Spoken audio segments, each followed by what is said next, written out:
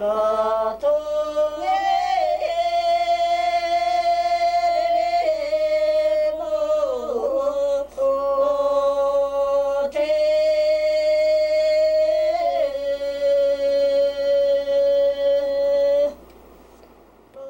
Tibet, or the Land of Snows, is a vast country perched high in the Himalaya mountain range of Central Asia. For over 3,000 years, Tibetans have lived simply and in harmony with the natural world.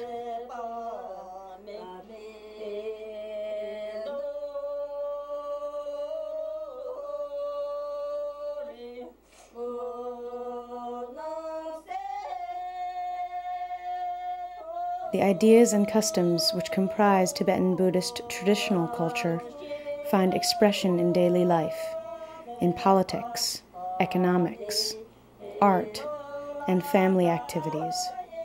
For the people of Tibet, religion and all other spheres of culture are very closely interrelated. Their peaceful society was geographically insulated from the developing world until the 1950s, when Chinese communists violently invaded Tibet and occupied this Buddhist nation.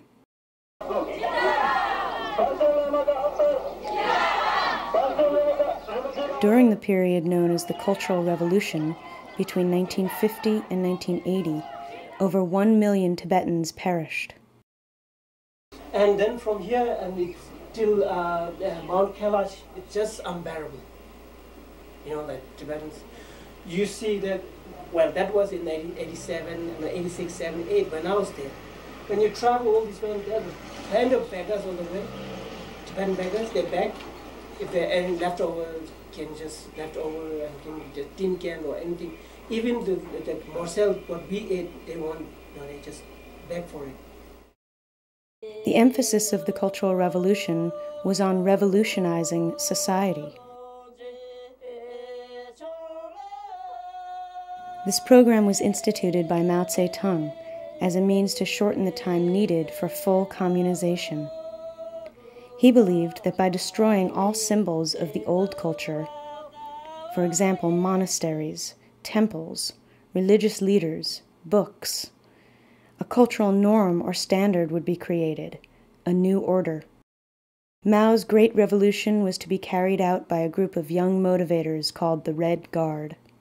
In 1966, the Red Guard poured into Tibet to eradicate the Tibetan ideology, culture, habits, and customs. The mood of this time period was anti intellectual, anti bureaucratic, and anti religion we walked maybe for last two months or something mm. like that to get to the border, you know. When we got that border, the Nepalese people wouldn't let us get into India. We, we started our journey in winter with the, with the hope that we'll be in India by the time, you know, summer breaks. But somehow we got to Dharamsala only in June. So we got stuck on the border it was very hot and Calmette was very much unsuitable and we had a lot of problems and many Tibetans died and I even lost my two brothers there, you know. My mother was completely sick, you know. Mm. It left hundreds of thousands of Tibetans struggling merely to stay alive. I miss my, uh, my grandparents because I grew up, I grew up with them. Mm -hmm. uh, so it was a very, very hard thing for me because, you know, I, I didn't know the value of my parents when I started studying because I grew up with my grandparents and I had to come uh, with my parents. They, I wanted to stay behind and when I last saw my grandmother, you know, she knew that I was going and I actually promised her that I would come back and fetch her to India. But every day when we made our journey, every night when I sleep, you know, I used to try to recall all the ways that we came I thought I was going to go, I had to go through the same way to fetch her. Right. I really thought I was going to fetch her, but I, I didn't manage that.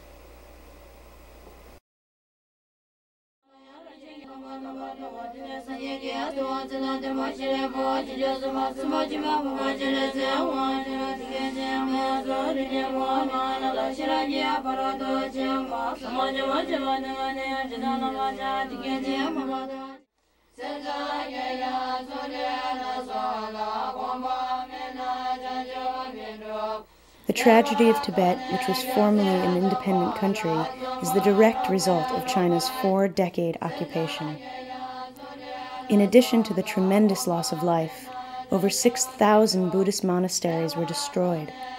More than 100,000 Tibetans, including His Holiness the 14th Dalai Lama, the political and spiritual leader of the Tibetan people, presently live in exile in neighboring countries such as India, Nepal, and Bhutan. In short, the Chinese Communist Party nearly succeeded in destroying Tibet's culture, including its religious practices.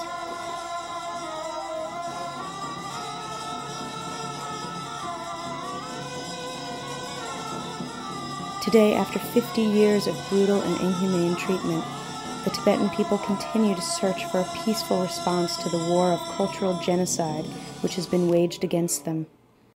How can how can Americans help the Tibetans while they're in America? Uh, uh, like uh, the Tibetan people who are suffering in Tibet. So if they understand how they serve in Tibet, so they can uh, help to the Tibetans. His Holiness the Dalai Lama has summed up the essence of Buddhism, particularly as it speaks to the Tibetan situation.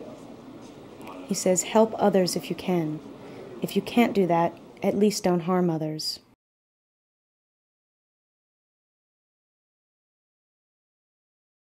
This film is dedicated to the people of Tibet for their nonviolent struggle for independence and their invaluable efforts to preserve this ancient culture.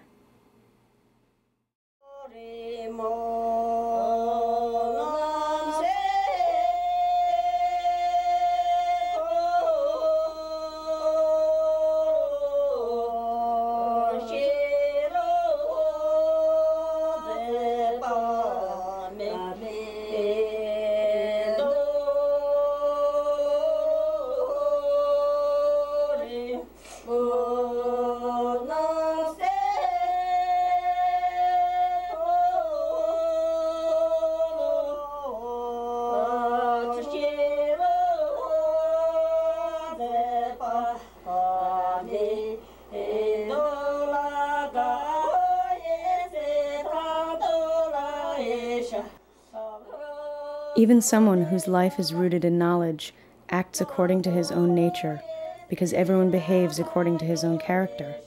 What then could man achieve by oppression?